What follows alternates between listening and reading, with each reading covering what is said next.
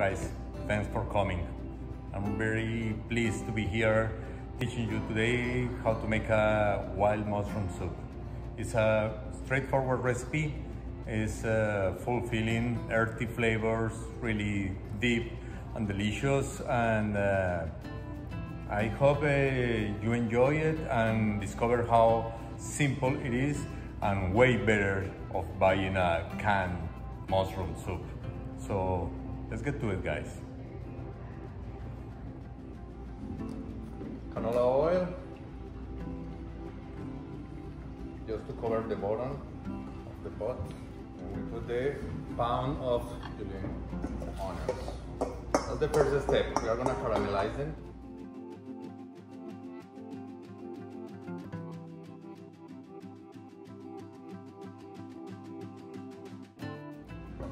But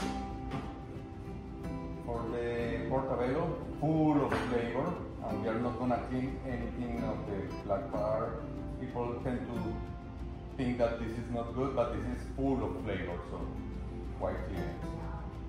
So, and the stand, we also it. That flavor. And not too small pieces.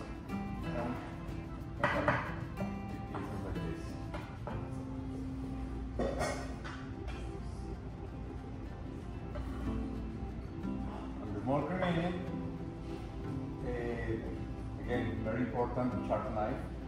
And uh, to be safe, uh, chopping the, the mushroom, you put it in this position here, hold it, and then it's gonna be easy to chop it. Uh, that way you don't have to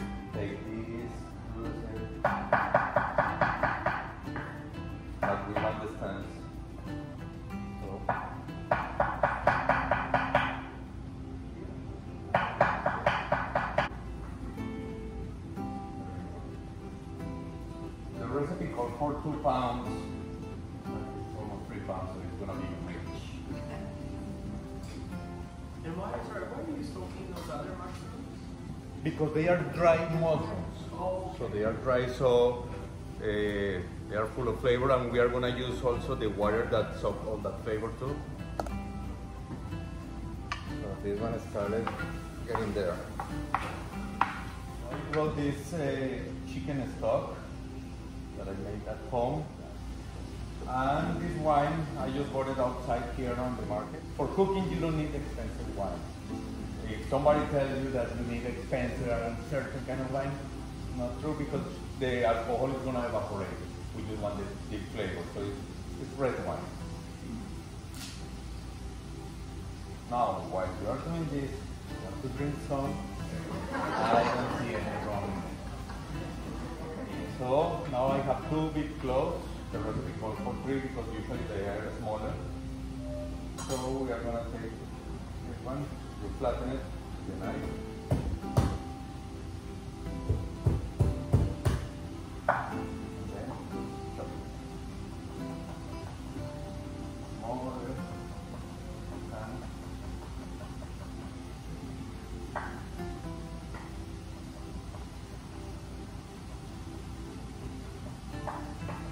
add the garlic when the onions are starting caramelizing because the burning point of the garlic is way faster than the onion. So if we put it too soon, it's gonna get burned and the onions are not ready yet.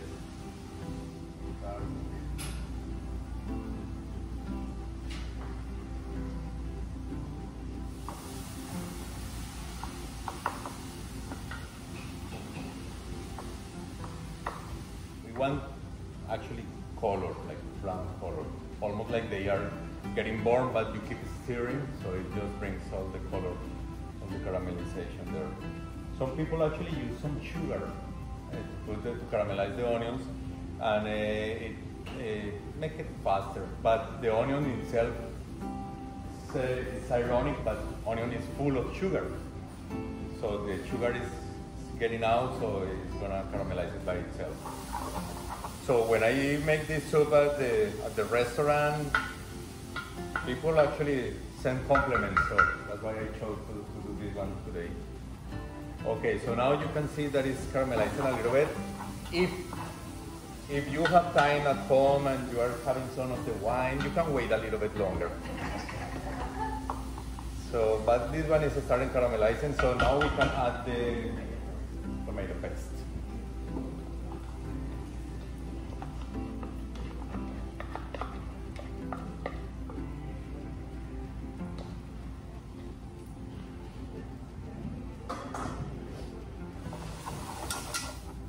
And then there are two ways to cook this butter with flour. One method is called roux, which is you melt the butter in a little pan and add the flour slowly until it gets the texture, uh, paste texture. But here we are gonna put it right on, on it and we just build the roux with the onions. One quarter of a pound.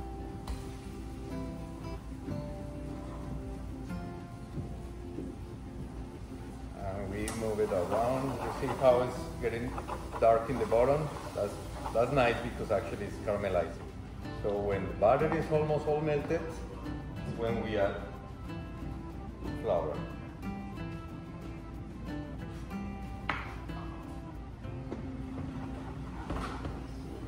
And stir thoroughly.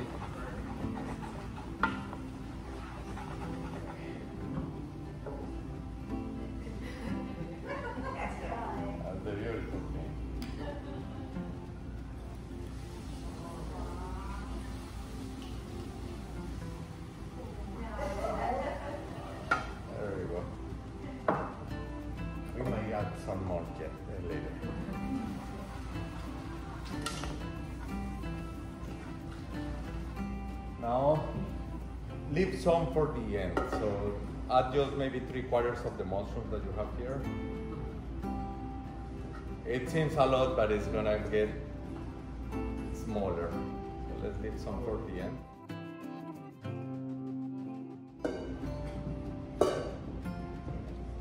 And keep mixing.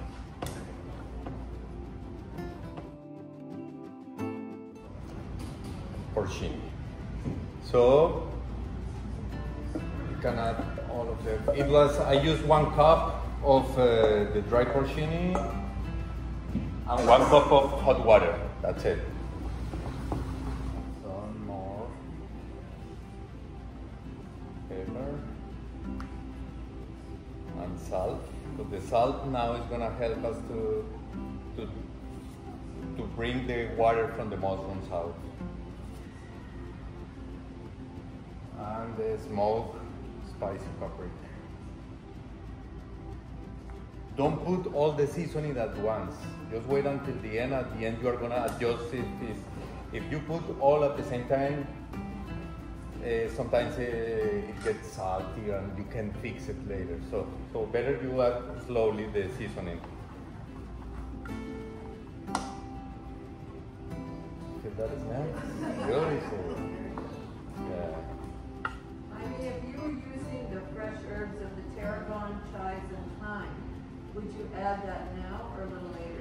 At the very end.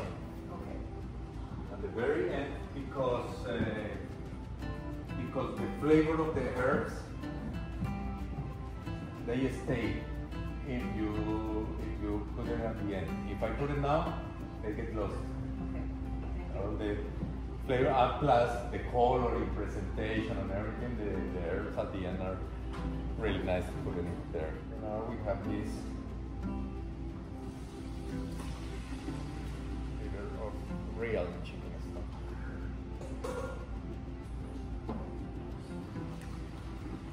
If you see that it's too thick, you put too much mushrooms or onions and you see that it's too much, too thick, just add a little bit of water or why not?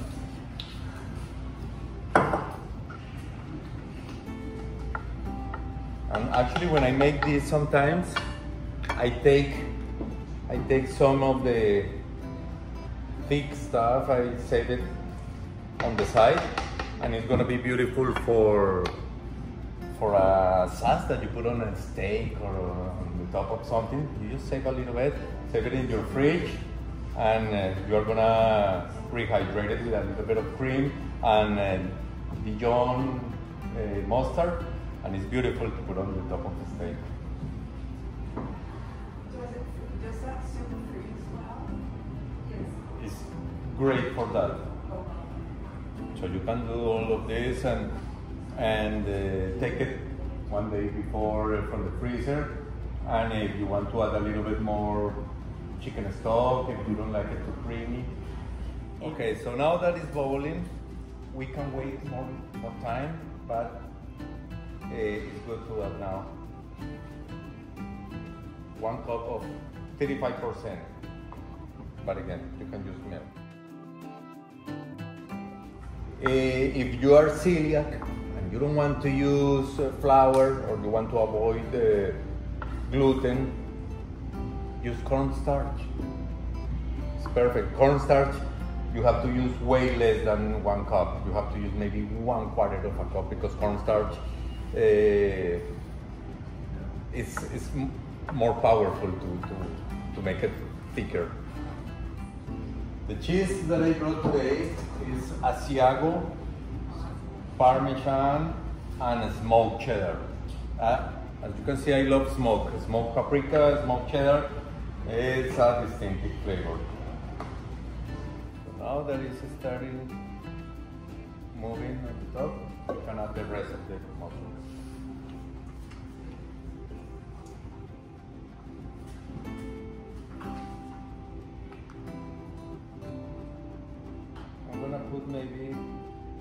Half a teaspoon of thyme.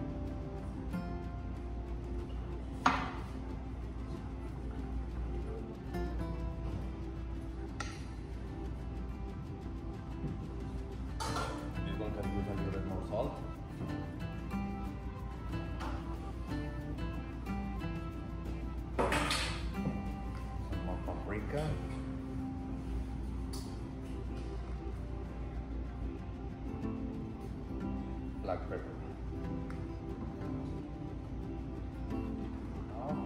The cheese.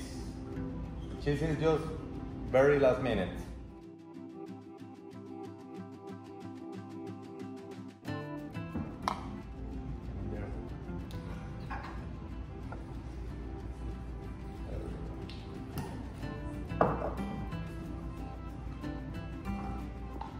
Now you let it simmer five, ten more minutes. We are good to go. Okay. So are you ready?